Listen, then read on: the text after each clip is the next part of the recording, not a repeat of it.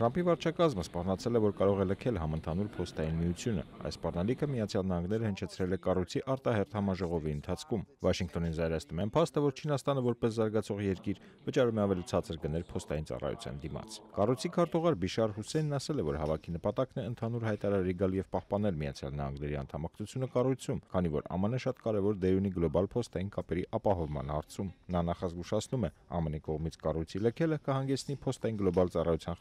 խափանմանը եւ սպասարկման գների կտրուկ աճին։ Այս պայն քննարկվում են 3 տարբերակներ Միացյալ Նահանգները կողմ է դրանցից մեկին, որը թույլ կտա երկրներին սահմանել սեփական գներ փոստային ծառայության համար։ ԱՄՆ պատվիրակությունը գլխավորող Միացյալ Նահանգների նախագահի օգնական Փիթեր Նավարոն համաձայն է, որ նման քայլը կարող է մի կարճ ժամանակ խառնաշփոթ առաջացնել փոստային ծառայության հարցում, սակայն դա ըստ ամերիկացի պաշտոնյայի բարեփոխման ամենակարճ եւ արդյունավետ ուղին է։ Համընդհանուր փոստային միության նախագահ Հուսեյնն իր հերթին կողմ է մեկ այլ տարբերակի, որը թույլ կտար երկրներին սեփական գներ սահմանել քայլ առ քայլ, Ըստ Հուսեյնի դա ավելի չափավոր տարբերակ է զերծ կտրուկ փոփոխություններից։ Նա ներկայացրեց Միացյալ Նահանգների կառույցը լքելու հետևանքները, որոնցից ամենագլխավորն այն է, որ կառույցը լքած երկիրը չի կարող օգտագործել միության փոստային կոդն ու համակարգը։ Արդյունքում Միացյալ Նահանգները ստիպված է լինելու առանձին բանակցել 192 երկրների հետ փոստային պայմանագրեր կնքելու համար։ Դրանցից կդուժեն նախ եւ առաջ սպառողները։ Արամ Ավետիսյան, Ամերիկայի ձայն, Վաշինգտոն։